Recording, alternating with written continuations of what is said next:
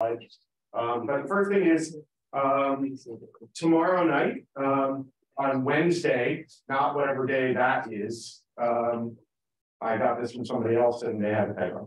So on Wednesday, uh, there is a data visualization talk, um, which might be really interesting for you. Uh, and it's in the Spark space on the second floor of CES. Um, so you should think about checking it out. Uh, how many people here are data science majors? Okay, so just remember there's an election uh, and you should vote. Um, I presume it's open to data science majors. I don't know about minors. Anybody have any idea?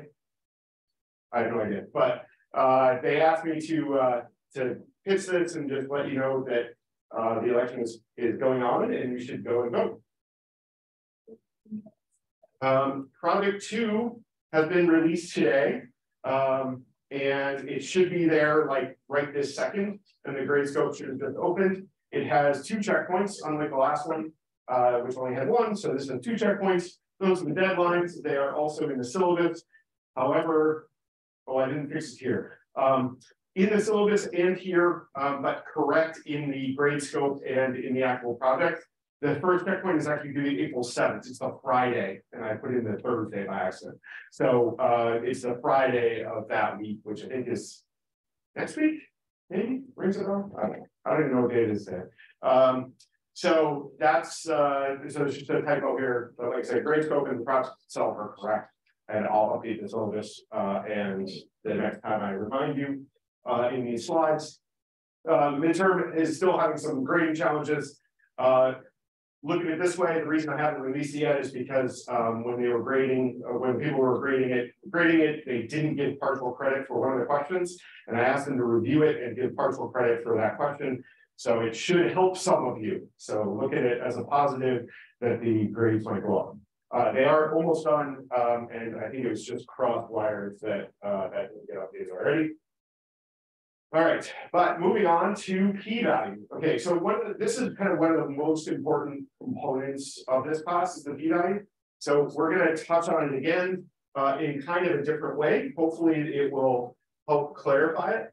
But this is just the definition again. Okay, you should have seen this slide before. Um, the p-value is the chance if the null hypothesis is true that the test statistic is equal to the value that was observed in the data or is even further in the direction of the alternative. Basically, this is how how you know whether um, you know you, your null hypothesis correct or your alternative hypothesis correct. So put another way, um, the p-value tells you how often you would expect to see a test statistic at an extreme or more extreme than the one calculated by your statistical test. Um, if the null hypothesis of that test was true, the p-value gets smaller as the test statistic calculated from the data gets further away from the range of test statistics predicted by the null hypothesis. It's very long-winded, um, but I think it's it's kind of clear, or I thought it was clear. So hopefully it helps you as well. But we're also going to have pictures. All right. So when we're trying to get to this, right, what we do is we set up the experiment. We first figure out what our null hypothesis is. And remember, the null hypothesis is something we can test, which is often not what we expect to be true. Okay, so the null hypothesis, whatever your gut instinct says, it's the thing that you can actually test. Um, whereas the alternative is the opposite, and usually the opposite you can't test. Okay, not always, but usually. Um, and then what values of p mean the alternative hypothesis is true? That's what you set that p cutoff beforehand to say, okay, if it's in you know this range, then we're going to say it's the alternative, or it's going to be if it's not in that range, then it's the uh, uh, no. All right, so here's my picture. So imagine that this is our like number line of where the there our results are going to land, right? So the first thing I do is I do one of my test simulations, right? So I get a value like this, right? That's kind of whatever that would be, like n plus two and a half or something right? And then I do another one, and then I do another one, and then I do another one, and I do another one, and they're just kind of landing all over the place, right? Uh, don't mind the, the y-axis, just so you can see it. Um, but then I do a whole lot of tests, right? And what I could see, right, is I'm expecting them to kind of cluster in one rough area, okay? And that area is sometimes the null hypothesis, but sometimes it'll be on the outer edges and be the alternative hypothesis. So what we kind of imagine here is that that, that center region in my prior example was that the null hypothesis was true, right? So if they all land within that null, then the, the null is true. However, if you notice that these overlap a little bit, right? That's basically your P cutoff, okay? Is where is how big that overlap is. And so if it lands in the alternative, in the overlap here area, then it's the alternative, not the null. And maybe I should have put the alternatives on top rather than underneath, but that's it. And then if you think about it in this, when I was showing that uh, distribution before, it's kind of the same idea, right? And so you see this dot here, okay? So that's just into the null. I can't remember what the actual results are for this particular experiment, but this is just into the null. If it was a little bit over here, if it was right here, we would consider that part of the alternative, even though it's technically in the null, right? Because we want to account for that randomness. So that, that line at the edges is a little squishy. All right, does that make sense? Like I said, this is a very important thing to understand. Um, and so basically, if the P is less than our P cutoff, then the alternative hypothesis is true, and it is greater than the null hypothesis is true. And so basically, what we're trying to do is figure out when we, if we run another experiment, where is the result likely to land? Okay, and so that's how we do this kind of prediction or this kind of modeling uh, to figure out answers to questions based on data. Um, and so sometimes we have good data and we can actually do like observation uh, and do the calculation. Sometimes we need to manufacture it. Sometimes we have a decent amount of data and we'll do like shuffling labels or we'll have a small amount of data and we'll use something more like bootstrapping. Um, but various, these are all techniques to essentially get to the same goal, which is trying to figure out if I run it again or I observe it again, where is it likely to land? All right. So one of the things to think about here is that that, you know, it's a histogram, right? So if you calculate the areas of parts of the histogram, you can actually figure out how many elements are in there. And so if you think about the P area here, um, you know, it's like this whole range, right? And there might be outliers over here that we can't see, but the idea is that one of the things that, to remember is that you're talking about an area on the graph.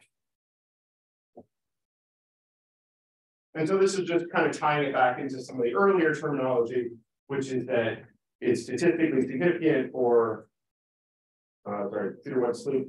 Um,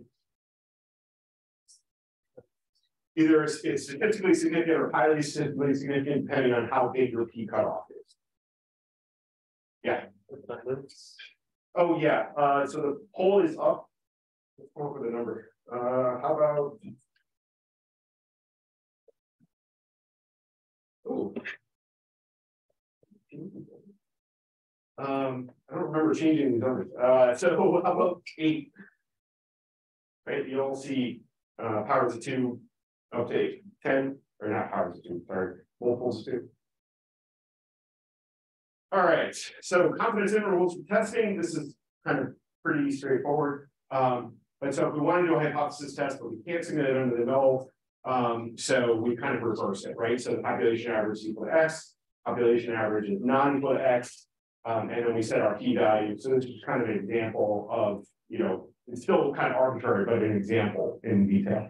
So is very loud today. Um, if X is not in the interval, we reject the null, and if X is in the interval, we can't reject the null. So that's kind of a more formalized way of saying we took the alternative. Okay, so we, I'm sorry, we rejected the alternative. Uh, so we can either accept the null or we can reject the null. All right.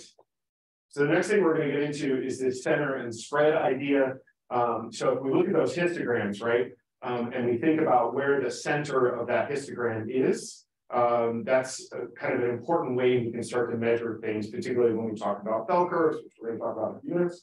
Um, but the center of that, okay, is basically usually the average is the center. And then you have the spread. So obviously the, the smaller kind of width-wise that the histogram is, the tighter your results are, right? And the spread is how far out they are, okay? Um, it's not this, quite the same spread as from betting, Um, but it's the, you know, it's this, it's how spread out it is, so it's kind of early. Um. Yeah. All right, so we've talked about averages before, um, but just kind of the, the formal definition. So we have, um, you know, we just have two different words for the same thing, average and mean. Um, and the big difference here between this and the median, right, is that the number doesn't have to appear in the set. Okay, so it can just be an arbitrary number that's in the middle. Um, and when we say in the middle, right, it's not necessarily really in the middle, right? It's actually could be skewed one way or the other, but it's in the middle of the data. Okay, because sometimes you end up with big outliers that hold that skew your average.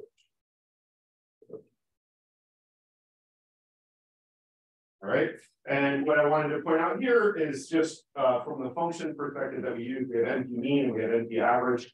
Uh, the only difference is that with NP average, you can actually use weights as well. So this would be what you would use if you want to calculate, say, a grade in class, right? Because you don't actually average your, your scores. You say, and I don't remember what the numbers are, but you say the midterm is 15%, the homeworks are, you know, 22%, et cetera. Um, and so you have to put in weights uh, to get your actual grade. You can't just average up all your scores. Hmm. All right, so uh, sorry, that's a little call. Um, but what I, the next thing I want to kind of show up is that with a histogram, you can actually approximate the mean.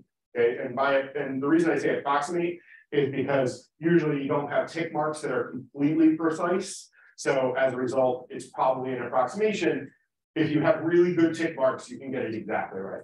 But to calculate the average, you can get, you take basically the center, okay, of the of the uh, bar, basically, of the bin, um, and then you multiply it by the height of the bin, okay? So this is 0.5 right here in the middle, and then it's about 11 tall. And then the next one is 1.5, and it's about 23 tall, etc. Okay, so you take all those and you, you add all those multiplications together. Then you take just the heights and add all those together, then do a division, and now you have the mean. Okay. Because what you're doing essentially is calculating all the elements in the in the histogram, right? That makes sense? You could also do something similar. You get the median. Okay. And so with the median, all you do is kind of add up all the heights, okay, but then divide that by two. And then it's not necessarily going to give you kind of the, the median per se, it's going to give you what bucket it's in. Okay, so it's in in three. Okay, that it's like a positional. Right, because obviously the median still has to appear in the set. So we don't know that 51 appears in the set. We just know that 51 appeared in the third bucket. Okay.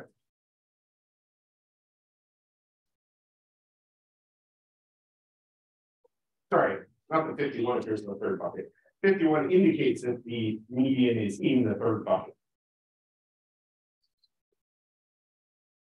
All right, so when we're, so the mean and the median are uh, really useful because they kind of show you skew, right?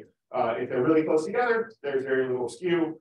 If they're uh, far apart, there's skew. And depending on which direction they're far apart, like if the median is higher or lower than the mean, it indicates which way your histogram is going to be skewed.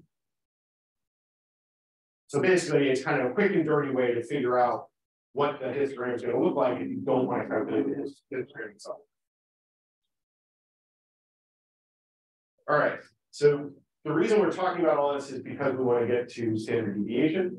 Um, and so if we look at the kind of biggest value and the smallest value, right, as it says here, um, it doesn't tell us much about that shape of the distribution. And that's a lot of time what we care about is like how like that's why we're looking at as distribution, is we want to know what is the shape of it. You know, is it a bell or is it skewed or whatever, because that tells us something about the data.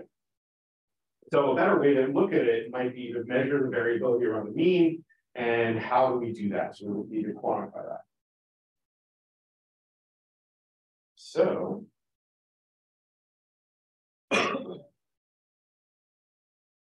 first thing we're gonna do is just create, create a table with some arbitrary values um, that are not very big, just to show you the example. Um, and what we can do is that we first are gonna just take the average of the data that we have. And then we're gonna look at those deviations, okay? And so how far away is each of the values in the data set far or how far away are they from the average? Right? And then if you notice, if we add up all those deviations, it should come out to zero.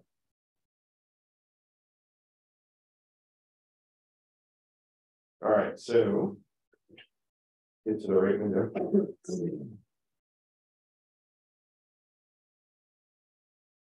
So in order to calculate the standard deviation, we are going to um, square the deviation first, right? Yeah.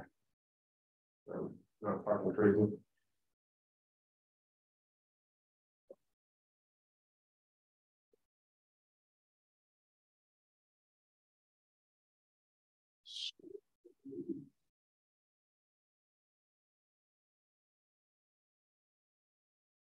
So deviations. Two, so now we have another table now with all the deviations squared. And, and again, what we're trying to do is smooth it out, right? Or we're trying to get um, something that's a little easier to, to evaluate. So we're going to swear it primarily to kind of push, separate it out a little bit more, make it a little more obvious where the, like, how pronounced the deviations are, as well as to get rid of those negatives. All right, and then we can do what's called the variance. Let me change code. And so we pull up the variance, and so that's the average basically of that uh, the square deviations. Okay, and so the standard deviation is the square root of the variance. We do that with just 0.5, and so 2.7 or 2.8 is the standard deviation. We're going to talk about why that's interesting, but basically it's like how far away the various values are from the average. Okay. And so that's how you would calculate it. However, there's an easier way because obviously standard deviation gets used a lot. You've probably all heard of it before. So you can actually just use the STD uh, method, which is short for standard deviation, pretty commonly short for standard deviation. Um, and you obviously get the same answer. Right? So, and this is where we kind of got messed up a little bit last time, well, not quite, but in a second. Um, it turned out, I figured out why the slides really didn't make any sense. It's because I had actually grabbed uh, this coming Thursday's lecture, not this one. So it assumed the knowledge from this. That's why I was super confused um, when I was trying to fill the rest of our time. But so here's just the kind of the standard deviation. Um, and one of these things, this is one of those things where, again, you have to kind of remember that when you say it, you kind of do it backwards. Okay. So we call it what the root mean squared. Okay. So we're going to take, we're going to average the data, then we're going to determine the deviation of the data from the mean, square the deviations, take the mean of the square to get the variance, and then take the square root of the mean, and that's our standard deviation. Uh, so in kind of short, right, we take data, average it, find the deviation, square, mean, square root. Okay, and so, but it's called a root mean square or square root mean square um, because you kind of you tend to say the things backwards when you talk about it, right? Think about when you do subtraction, right? You say I'm going to take you know uh, nine from ten, um, and but you kind of mean it in reverse when you actually write it out. Okay, right, and write this up. It's also known as the quadratic mean. Uh, we'll usually use RMS. All right, so yay, right? Um, but it's actually kind of interesting, and this is what we were talking about last time. Chebyshev uh, did a really interesting proof. Um, and so we can figure out what the distribution looks like based on the standard deviation. Um, you can read those very hard sentences. Uh, two quick comments. Uh, I tend to use uh, a lot of programming, uh, like kind of constructs in my writing. So equal equals means they're equal to each other, right? Versus an assignment. Um, and then you've all probably seen plus or minus. Um, it just means, you know, on either side. All right, so here's that inequality. Um, and it proves the statement, no matter what the shape of the distribution, the proportion of values in the range, mean plus or minus some number of standard deviations is at least one minus one divided by the square amount of the, of your number of deviations. So, um, for example, the mean is, the mean is ten and the standard deviations are three, um, then at least how many of the values are within uh, four to sixteen? And so we can calculate this um, and yeah, let's give it a try. All right, so you either do it in your notebook uh, or take a wild guess. Um, but raise your right hand if you think the answer is 89%, and raise your left hand if you think the answer is 92%.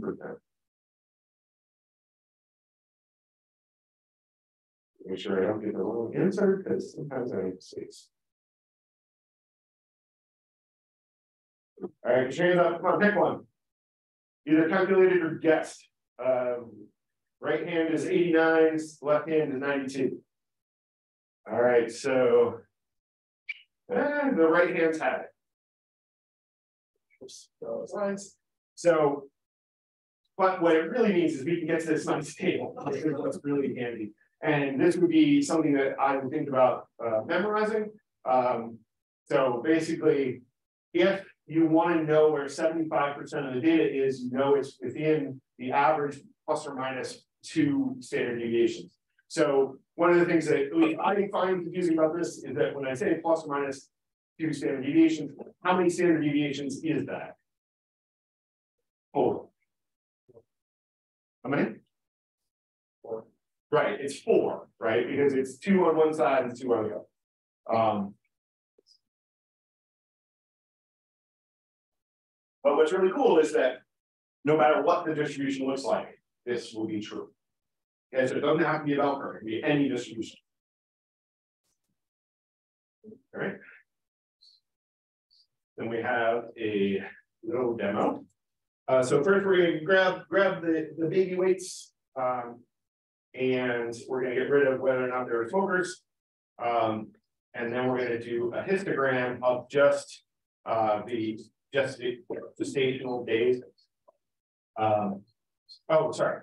No, we're actually going to do, why put that comment there. Um, so we're actually, if, if you notice, and you may have done this possibly by accident before, but if I just say call histogram and give it bin sizes, it will, or not give it bin sizes, um, and don't tell it to overlay, I can actually get a histogram for all the columns in the table. Okay, so if you're usually this is something when you're like exploring the data that's useful, not usually something when you're presenting the data. It's more like, oh, I want to see it all at once because I want to know where I want to look. Usually things like overlays and that kind of stuff are more useful. Um, but as you can see, we have a bunch of different distributions, but we're going to look at this maternal pregnancy weight um, one in particular, um, mostly because I want to show an example that is like, that's pretty skewed, right? Um, so that's why it's kind of interesting. All right, so the first thing I do is pull out uh, just the average and the standard deviation size. So we know that the average is um, uh, 128 pounds uh, and that the standard uh, deviation is 20 pounds. So that's where the Ch uh, Chebyshev uh, calc really kind of comes in handy, right? So see. Okay, so this is just kind of show, like pulling out kind of one segment of it to say, okay, show me all of the birth weights that are within uh, three standard deviations of both sides.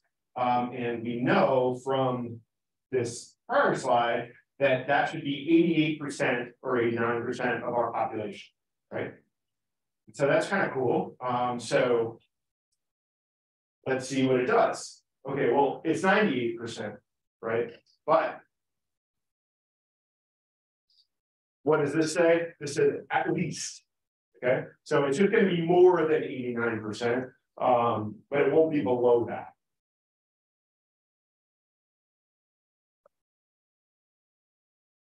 All right, and so it should be, and just do the calculation, so it should be Um, because we just did, we replaced our Z there with the actual value.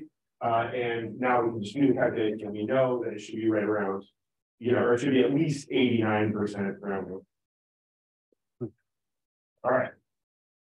So that's all the table columns. And so what I'm gonna do is I'm gonna use, I don't know if you've used labels in the labs or homework yet, uh, probably.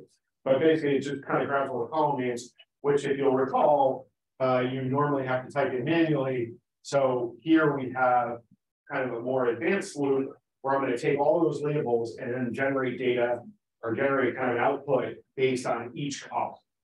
So I can then run that. And so you can see that for each of these, the birth weight, for example, 95% or so is um, percent of the data is, is within two standard deviations, which is greater than Shosha, right? So basically you can kind of, this isn't proving it, but you can get a better feel for how does this work and the, is it true? And the other reason is I wanted to give you an example of a for loop that does something a little more interesting uh, or a little more complex. So you can kind of pull out all that data and actually calculate it. So theoretically, they should all be over. Uh, most likely, if they're not, it's because I have a bug uh, rather than uh, a mathematician being wrong. All right, so the next thing we talk about is, okay, so now we talked about those standard deviations being a certain distance away. Well, the next thing we want to do is we want to be able to compare our apples to apples. Okay, so when we were talking, I talked kind of quickly about the final exam versus the midterm exam you can't compare those distributions without setting them to some sort of standard unit because one might be, you know, out of 90 points and one might be out of 22 points, right? So we can't compare them very well. So what we want to do is shift them into a standard unit so that we can compare the two things um, because we want to know on average, right? Uh, uh, you know, are the students kind of progressing? Like, because what you hope, right, is that in the final exam they're going to be better than they did in midterms, maybe. Um, so what we do to do that is we convert the thing to what are called standard units, okay? And that is a like a formal term, even though it seems really obvious as the name of, of what we've been talking about. Um, so the way we do that, though, this is why we have to talk about standard deviation first, is that we take the value minus the average divided by the standard deviation. Um, and that way we'll shift kind of everything to be right around zero. So the average is going to shift to zero on a graph and you know one standard deviation will be at one, right? And so 96% of our values are going to be between minus five and five once we move it to standard units because of the same, oops, because of this, right?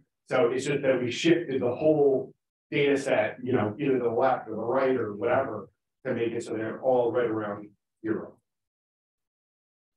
All right, so we can show an example of that, I believe. And so we just calculate the standard units. Um, and this is where I'm going to ask the crowd how to calculate the standard units. So what should I put in here to get um, a method that will calculate standard units?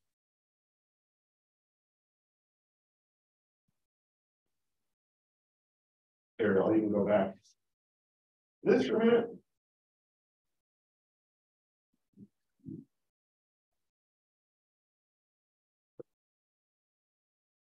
And yeah, and just you know, note that X is an array. Okay, so it's a, it's the whole set of data. Yeah, it is. Be something like value minus average divided by np dot stdx? Yes, I think so. Uh, it's hard, it's hard to listen. Um, so x minus the average, um, we're just shooting mean because it's shorter. Um, and then divided by, oops, something in the place, uh, and then divided by the standard deviation. Right, so now I have a handy little function that can convert an array to standard units. Um, and if I go back to my ages here, we take the maternal ages and let's convert that to standard units. We can use our new little function. And so now our, our whole array is going to be wrapped around zero. Um, and we can kind of pull out what we expect it to look like. Okay, so um, when we shift it, right? So the, the average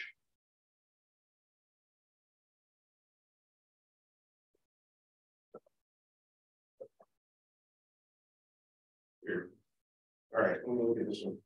Um, okay, so basically what I can do is, uh, you know, I can kind of put them on the same table together and I can kind of see how they're shifting, uh, if you, you know, we're kind of interested. So we kind of can guess, right, that the average is gonna be somewhere in the middle between like twenty-three and twenty-eight, right? Because the twenty-three is gonna be below zero and the twenty-eight is gonna be above zero. Um, so it just kind of shows you how far away it is. Which. And what we expect. Let's see if I can.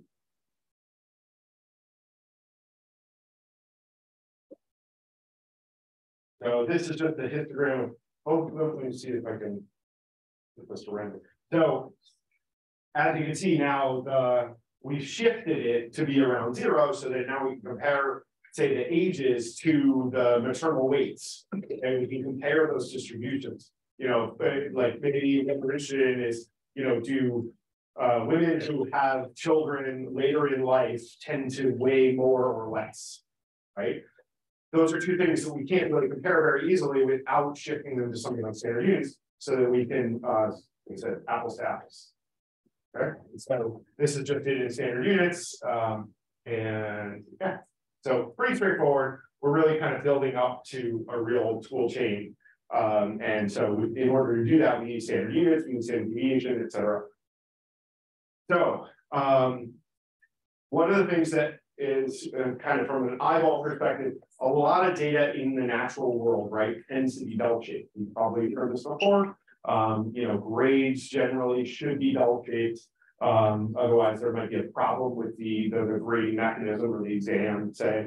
Um, so, but what you can do is that you can actually eyeball the standard deviation by looking at the bell curve. So if you see the bell curve, um, the average is at the center, right? And then uh, the point of inflection, and I'll show you in another slide, which will be clearer, that's where the first standard deviation is on either side. So if you look here, where I kind of try to draw it in, but basically it's where the curve starts to change types. So like when you're going from kind of the one curve to the other, that's where that standard deviation is. And so we can kind of say, okay, the average is, you know, in the middle, and then that's one standard deviation and one over here. Okay, and you can eyeball it by kind of looking at where it goes from like this kind of curve to this kind of curve. Right, but you can also obviously calculate it.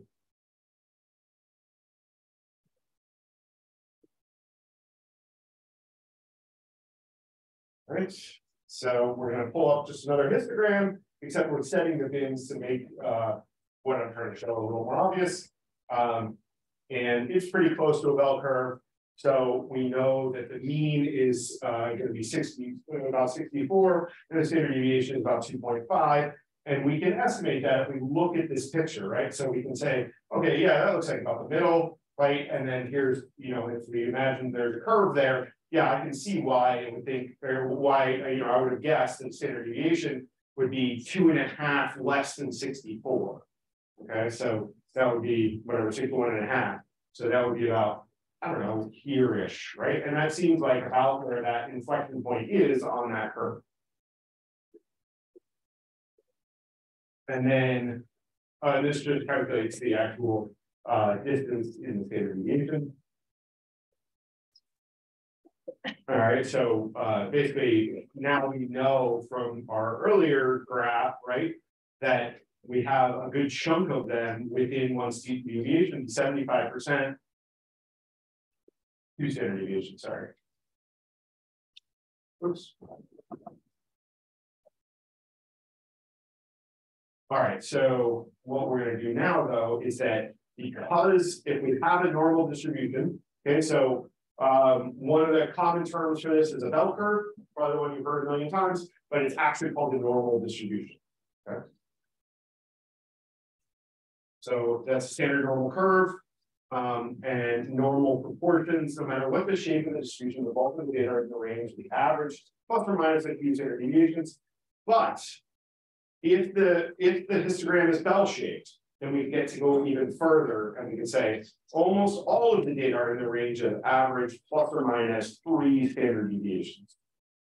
Right, and so we can actually get even better than Chebyshev that it works on all distributions, but if we have a normal distribution, then we can actually say, okay, within one standard deviation, we have about 68%, two, we have 95%, and three, 99.7%. Okay, and those are also useful data values. Um, and so if we can show that it's a normal distribution, that tells us even more about that data set, uh, kind of from just the fact that it's a normal distribution.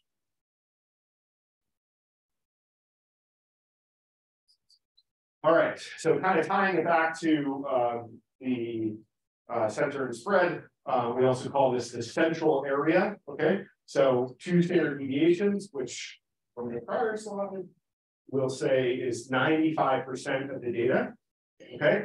Looks like this. So what does that mean uh, in terms of the stuff we've been doing? Well, here's our p cutoff there is about negative two, right? And positive two because that's two and a half percent left. Because we know that the yellow area is 95%. So we have 5% left, and that could be our cutoff. Right?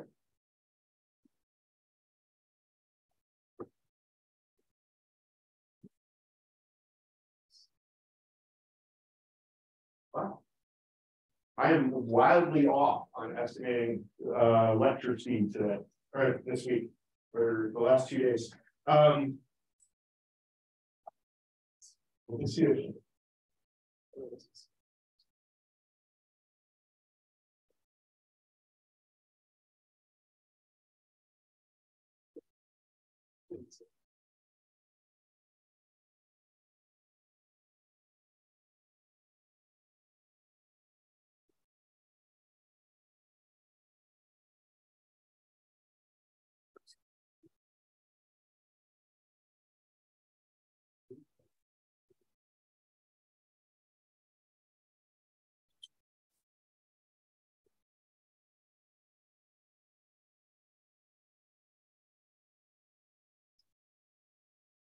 Yeah, so let's talk a little bit about the central limit theorem. Because it should be handy. It's,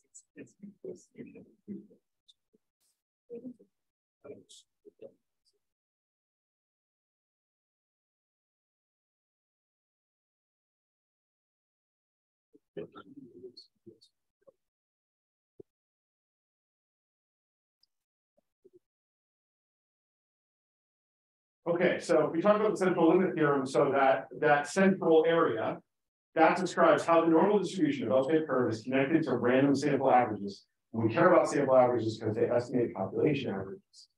So what does that mean?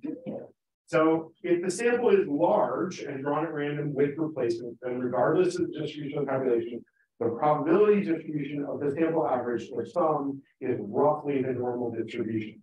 So that's, excuse me. Um, so basically what this is kind of saying with math behind it, okay, is that if you and pick a large population, you can actually get uh, good estimates when you uh, draw at random from it uh, to you know make some sort of estimate about that data set. Uh, which I think we've talked about and we know a little bit, but this is kind of the, the real version.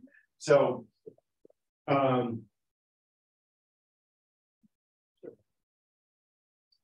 So if we look at kind of the data, now let me, let me do the demo first.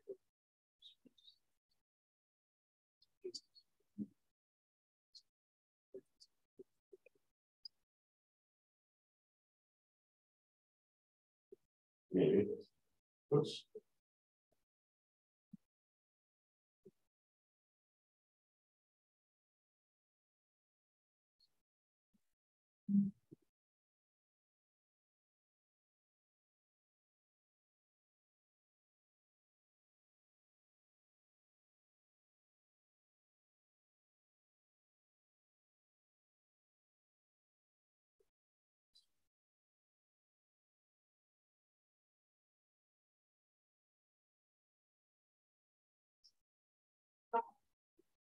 So. Hopefully this is all independent it'll work.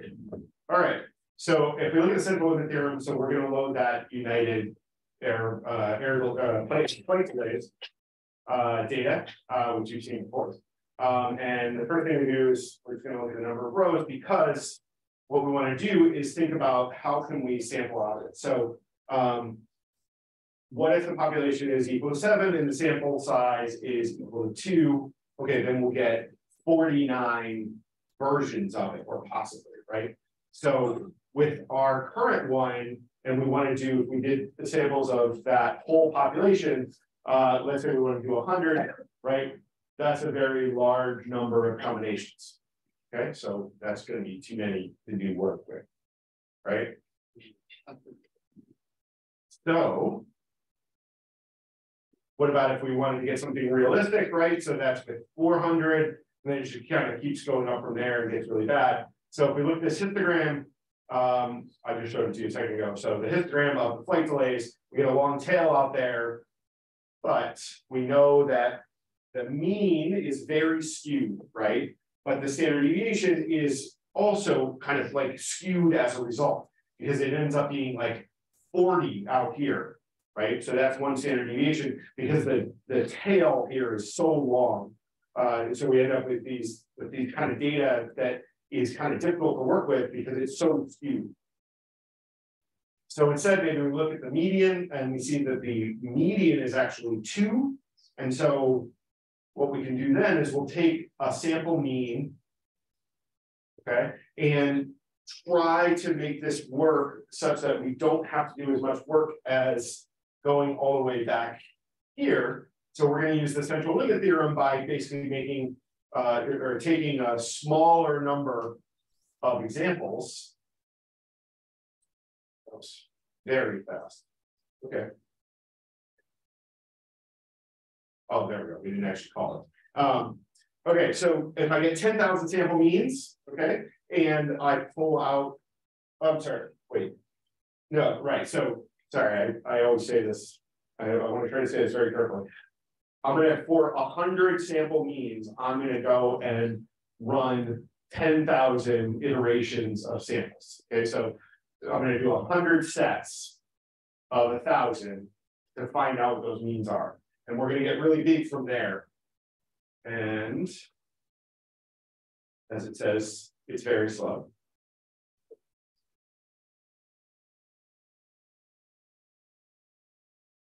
So what we're gonna we're gonna find, right, is that we don't want to do this. It's too big, right? Like this takes too long. I don't have the of patience. Imagine if it was a real data set that was much, much bigger, it's gonna be much harder. So we're gonna find some tricks to get better. Uh someday when this finishes. Okay. So we end up with some nice histograms though, where we're starting to get to that average delay and having a more useful data. But if you notice, right, what we want is we want to think about the, that center and spread. So this is really far apart, right? It goes from like five to 30, um, and this goes 12 to 22, and then this goes, I don't know, 12 to 20. So it's starting to get tighter. So basically what we're showing here is that central limit theorem says, if we keep making bigger samples, right, we'll actually get closer to the right answer. And I can overlay, I think this overlays them, yeah. Um, and so you can see, right, kind of very visually that pulling bigger samples is a much better choice, okay? So remember, what we're doing is we're actually, it's the same size sample each time, but how many times we go do the sample and then we run the average on it uh, and then we end up with a history that looks like this. So we do it 900 times, it's going to come out much better than if we do it 100 times. Um, and in future lecture, maybe next lecture, maybe the one after that, we'll talk about like how do we figure out what that number is, right? Because what is big, right? So kind of going back here, up there, here, um, we can look at our original data set, right? So imagine we don't actually have this, but if we do the mean of the 900 flight delays, we're starting to get closer, right? To what the actual mean is of our real population by doing this work. So the problem is right now it's still using a lot of data or a lot of time, uh, but the central limit theorem lets us do this in a way and we can kind of prove that it will, that the average is in there somewhere. Okay, and the, and the center and spread component of it is like how wide it is, is how accurate we are. Right, because if it's really wide, obviously, then the average could be anywhere in that width. The narrower it is, the better. And I apparently jumped the gun on the slide. Um, and so if we imagine all possible random samples of the same size as yours, there are lots of them, but each of these samples has an average, and the distribution of the sample average is the distribution of the averages of all the possible things. So what this kind of tells us is that it, it helps us approximate, right? It helps us get close to that average. And the more, the bigger, the bigger the um, the set of samples that we take is, uh, or a bigger of sets of samples that we take is, the closer we will be to the actual result. And so that's kind of the central limit theorem. Um, and we're going to kind of leverage that to try to do uh, some of our future work. All right, but we can probably stop there because otherwise we get.